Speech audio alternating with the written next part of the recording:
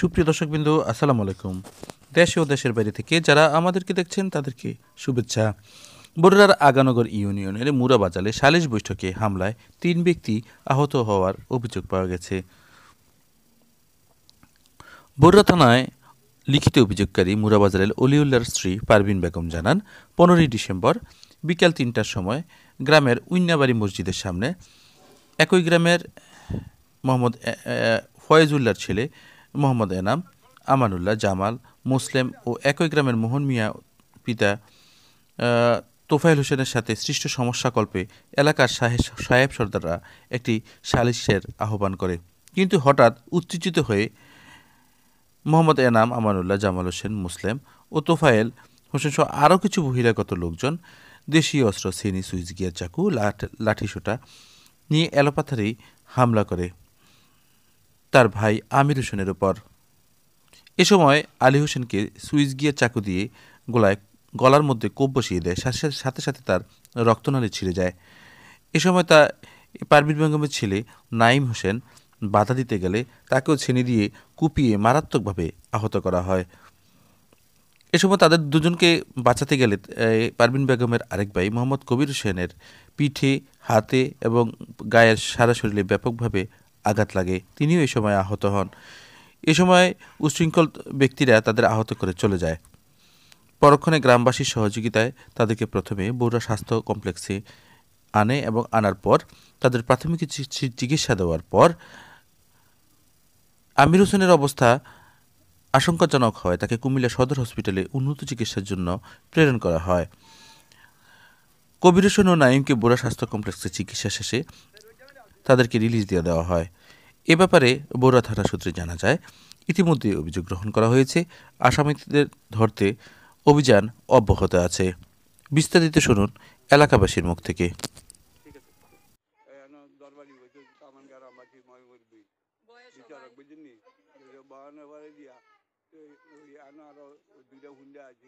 অন্য সন্তান তারা কি করছে ছুরি আগা দিয়া কেউ যাই চলে না একজন হলে দশ একজন দরবারও কার্য হইছে দইছে।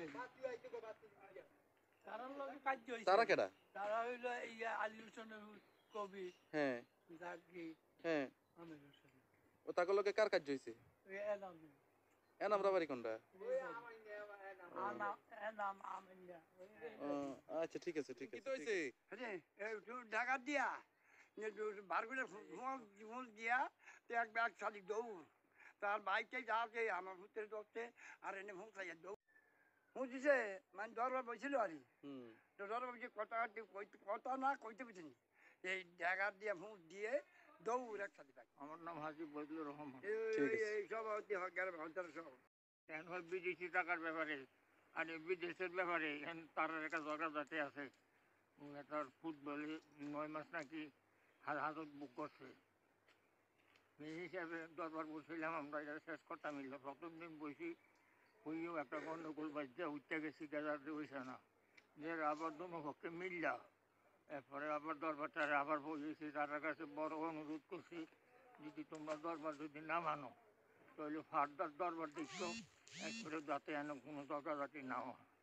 এই দূর পর্যন্ত দেখছি। এরপরে কে বা, কাহারা, কেমনি বা, এই ঝগড়াটা সৃষ্টি হইল আমি কিছু কইতে পারতাম না, আমি বুঝে আছি, আমি না কেমন আসলে আমাদের আমার নাম জাকির, আমি আমার যে জহম হয়েছে মানে ওনার ছোট ভাই।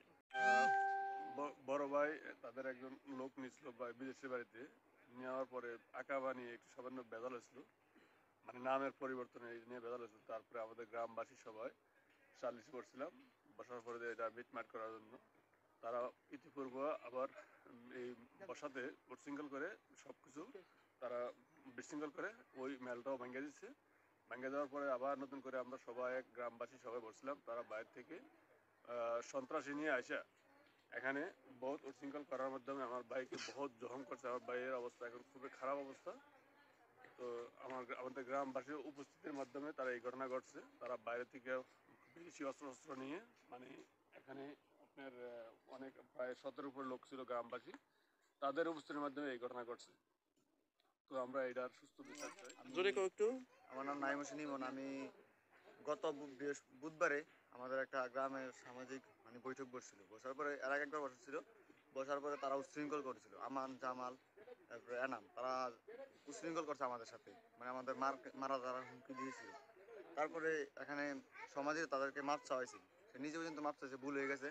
পরে এখন ডেট রাখছিল, যে ইলেকশনে পরে বসবে। তো ইলেকশনে পরে বসছিল, গত বুধবারে। বসার পরে তারা বহিরাগত দুই, তিন হুন্ডার লোক আনছিল মানে পাঁচ ছ জনের মতো। তো তারাও ছিল। তখন কথা কাটাকাটির মধ্যে মানে কথা শুনছিল সর্দাররা, এর মধ্যে দিয়ে তারা অস্ত্র নিয়ে আসছিল। টিপসুরি সেনি তারপরে লাঠি ছোটা নিয়ে আমার মা আমাকে মেরে ফেলার, মেরে ফেলতে রাখছিল তখন আমি এগিয়ে গেলে আমাকে জামাল এনাম তারা আমার এই কুপি হত্যা করার চেষ্টা করছিল। তার চারটে সিলি লাগছে। তো ওনাকে মেরে ফেলার চেষ্টা করছিল, তারপর আমার বড় মামা এগিয়ে আসে। ওনাকেও মানে মেরে আমার তিনজনকে রক্তাক্ত অবস্থানে ফেলে যায়।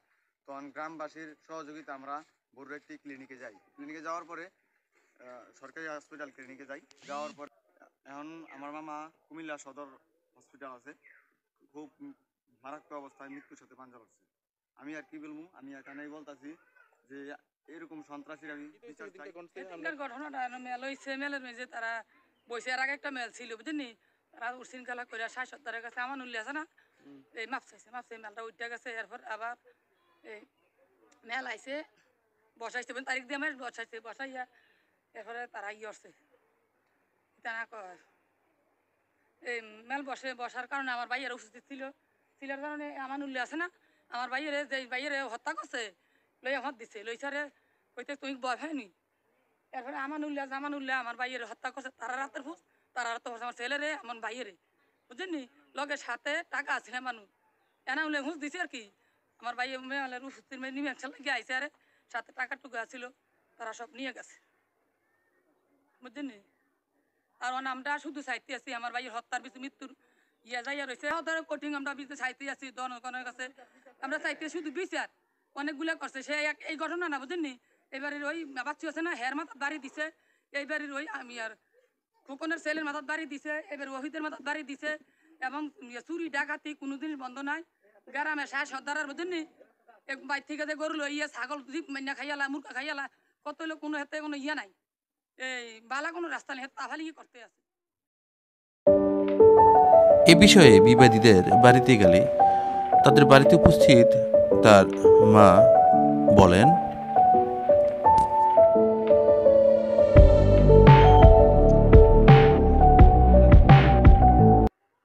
বাবা। বাবা আপনার নাম কি? বলেন কি সমস্যা তা করল বাবা আমার একটা নাতি হুম। তারা বিদেশ হুম। বিদেশ নিবার পরে তারা করছে কিটা নিয়ে পাঁচ মাস বইয়া রাখছে। আকামও দেয় না তারে ইয়েও দেয় না, ওই আকামা দেয় না, কামও করতে পারতে পারে না। খাইয়া বসে বসে আমার নাতি খাইছে। খাইয়া এরপরে তে দুই নম্বর আকামা দিছে। দুই নম্বর আকামা দেওয়ার পরে তে করছে কিটা কয়, তে গাড়িটা থেকে টিয়া দিছে। তে কইছে, আমার নাতি কিছু যাইতাম না। তে কয়, যা, আমি তোর একশো টাকা দিয়ে দিই, তুই যা। এটা করছে আর, তে গিয়েছে। গেছে আরে, তে করছে কিটা যাইয়ে ওই দুই নম্বর আকামা দেখিয়া পুলিশে দেখিয়া মিশা মিশা কথা করতাম না, আসতে মার জেল কাটেছি সত্য ঘটনা। এর ভিতরে দিয়ে আমার নাতি কোনো সাইড আনা পয়সা বাইক দেওয়া হয়েছে না। এরপরে পাঁচ লাখ টাকা দিয়া আমার নাতিকে দিছি পাঁচ লাখ টাকা দিয়ে আমার নাতিকে দিছি এরপরে এহেনও ঘটনা তারা দরবার বইয়াইছে। দরবারের মাইদেন চেয়ার লইয়া কাড়া কাটি মারা মারি আমার নাতি, আমার পুতাই হাসপাতাল আমার পুত্র কোন ছেলে কুচি তুলি আছে পুষাই তুলি আছে আমার জামালে জামাল আছে কুচি তুলে